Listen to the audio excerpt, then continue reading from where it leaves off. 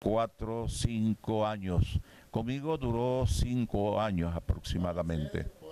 Coronado, sí. Cuando ya me anunciaron que tenía el acceso para ser poeta coronado, comenzaron a comenzó a trabajar el consistorio que lo presidió un gran amigo que es el doctor Dumar Iglesias lo, y lo conformaban el señor Enrique Delgado Copiano, un gran historiador, José Elías Sánchez, otro historiador de Manta.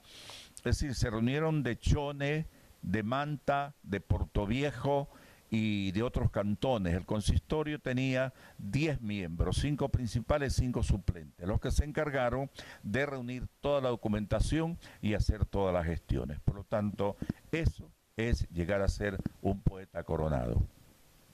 Quiere decir que para ser poeta coronado tiene que morirse, tiene que morirse usted para coronar a otro. No, ojalá no me voy a morir.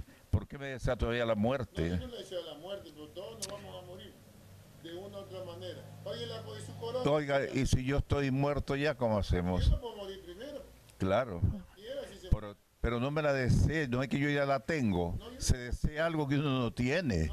yo ando cargando la muerte bajo en una mochila. Lo que pasa es que ya me morí, pero no me recibieron arriba, me devolvieron la carpeta porque tengo que hacer muchas cosas aquí. Usted sabe que fue intervenido de peritonitis, estuve cinco días muerto sin saber.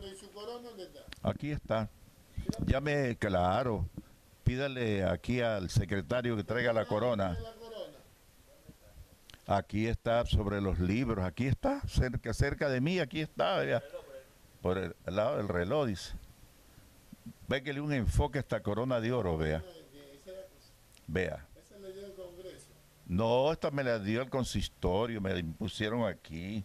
Pero falta el oro. ¿Y qué cree que es del oro? Aquí no hay loros ni papagayo, hay oro. Oro. Es de oro, vea. No digo yo que es de oro total, porque